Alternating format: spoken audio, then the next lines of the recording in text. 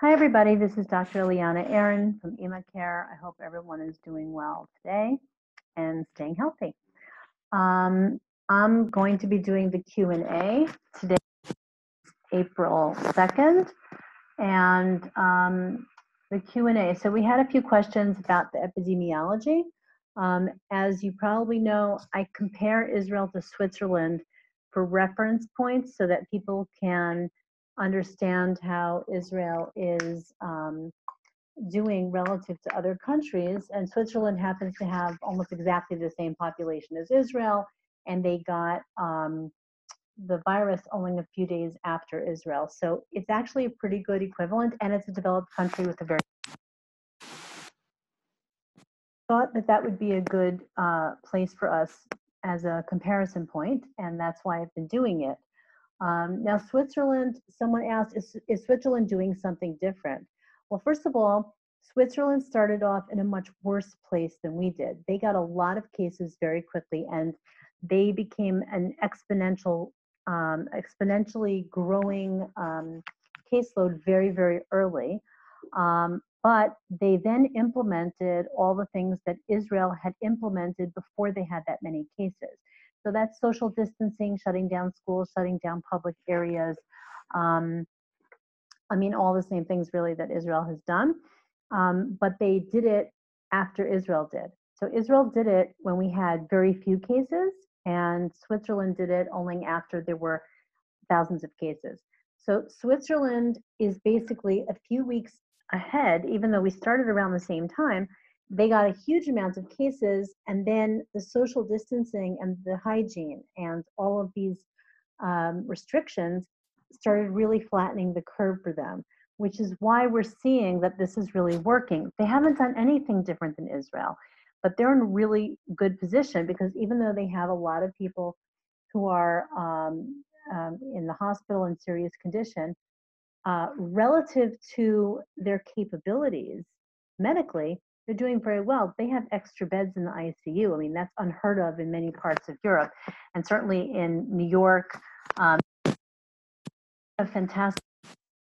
Once they had that period of time of really strong restrictions, and they haven't let up on those restrictions, which is why they're able to keep the curve down. So we'll see what happens in the coming weeks if they're able to really flatten that um, well, then we might see that they'll be letting up a little bit on that uh, level of restriction, and we'll see. But it's not like they did something magical that Israel hasn't done.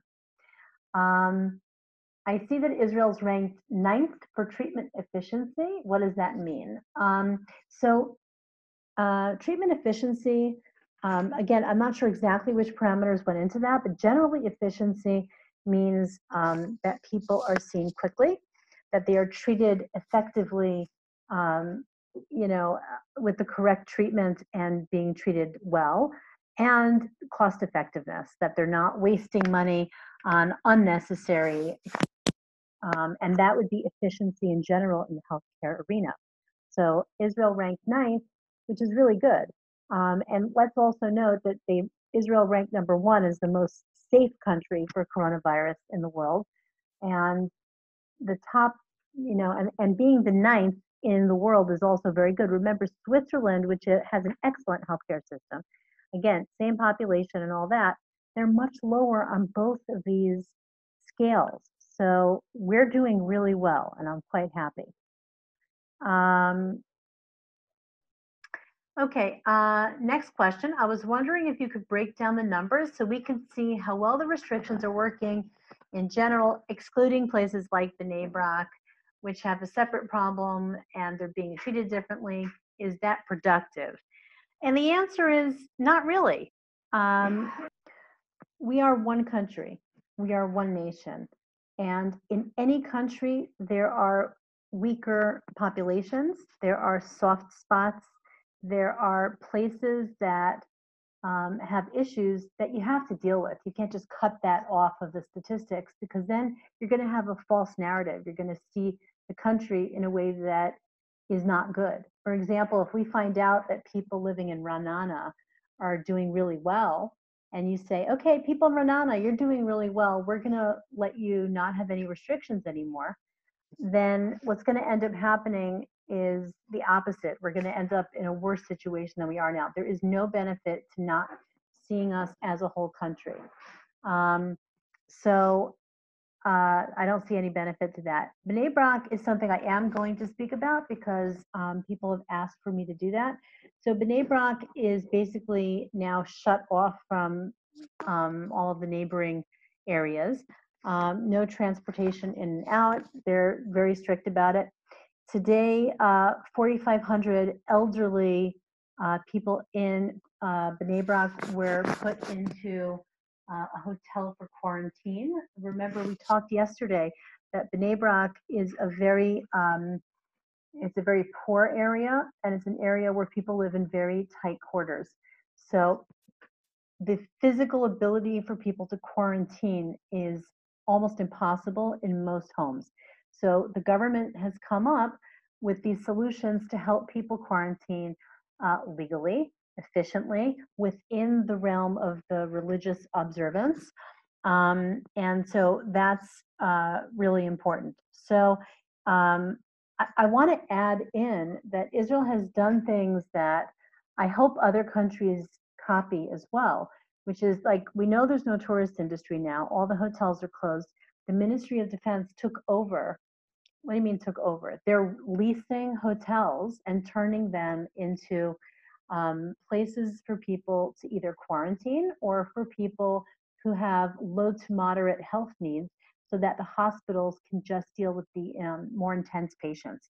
And by doing that and by getting the military involved, um, which let's say in America would be like getting the National Guard involved, it means you have more people who are able to take care of people and you're recruiting more staff because remember everyone's short staffed so this was a brilliant idea because what you're doing is you're expanding uh, the uh, the services and the physical location. Now all of a sudden you have triple the number of hospital beds that we had from a month ago.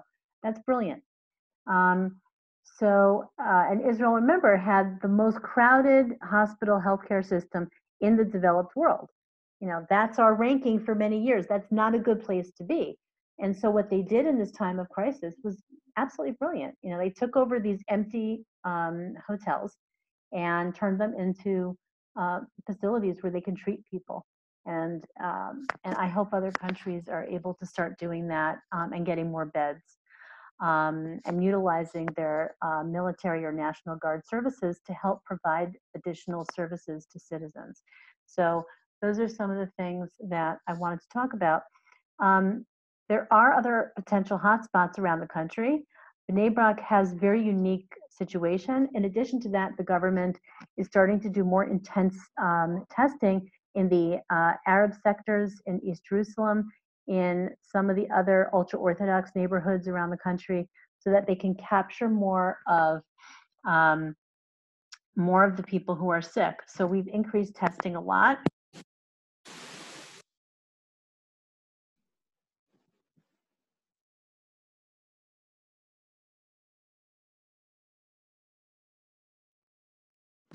So surgical masks are the plain masks that I showed you yesterday. Uh, maybe I didn't show it to you yesterday. This is a plain surgical mask, okay? So very simple, goes over the face, goes around the ears, or it goes behind the head. Um, and they're very simple masks, um, but they do have a very basic filter that's inside the layers of paper. So it's not really paper, it's actually a woven material, but um, it does have some kind of a filter. It's not the perfect mask, but it is a mask that helps reduce transmission from a sick person who may not know they're sick to somebody else. And that's a really good social benefit. Um, so that does reduce my, um, I call it my spritz, but my respiratory droplets are about 90% of them are going to stay in the mask, which is pretty good.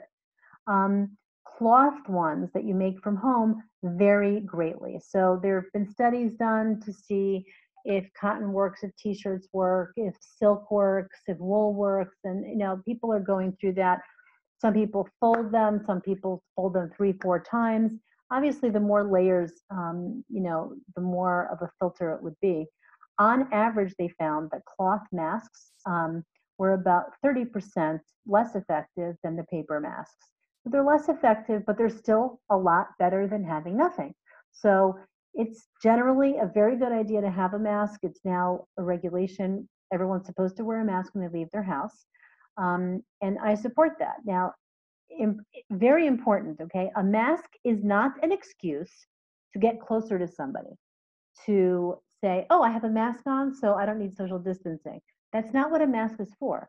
A mask is there to protect other people. So keep that in mind. Um, you know, we don't want people to wear medical masks. I've discussed this many, many times. There is no reason for it. A scarf is about the same thing as a cloth mask. So a scarf can be used. It does reduce your, uh, again, the spritz. It reduces the spritz. It depends how thick it is and how many layers. But when you have something made of cloth, you have to wash it and you have to wash it frequently um, on a hot temperature to kill the virus. So keep in mind that um, they do have to be washed. The paper ones,